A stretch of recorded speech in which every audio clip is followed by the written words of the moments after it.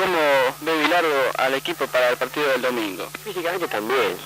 Están saturados puesto que vienen con un con muchos partidos, son 80 partidos prácticamente, no han tenido descanso, solamente han tenido 6 días de vacaciones, que consideramos es muy poco, es un plantel que se merecía por lo menos 20 días como han tenido todos, todos los equipos de AFA, el equipo que no tuvo vacaciones fue Estudiantes de La Plata, eh, debido a las circunstancias que todos ustedes conocen, a la programación de partidos que sale de AFA, eh, consideramos que el equipo en este momento se encuentra bien, con mucho entusiasmo, han sabido sobreponerse a, esta, a este contratiempo.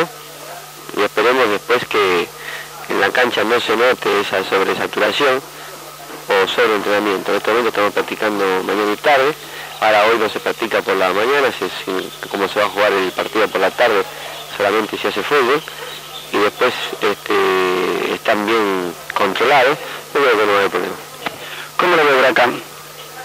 Huracán como lo vi a terminar el año, no estaba jugando bien, así que no se verifica, había problemas entre ellos, no tenían técnico en aquel entonces, yo creo que por eso Huracán licencia a sus jugadores, cuando se ven que están, no andan bien sin técnico, aprovechan para la licencia y después comenzar un año con un nuevo técnico, los jugadores comienzan año nuevo, entonces se comienza con nuevos bríos. Yo creo que eso fue lo que Huracán logró, eh, darle licencia a sus jugadores para, para empezar nuevamente el año.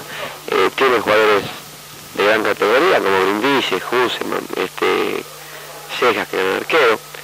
Es un buen equipo, un buen equipo conducido por ahora por un hombre que yo creo que sabe mucho como Juárez y es, va a ser un partido muy difícil de acuerdo al rival como se presenta.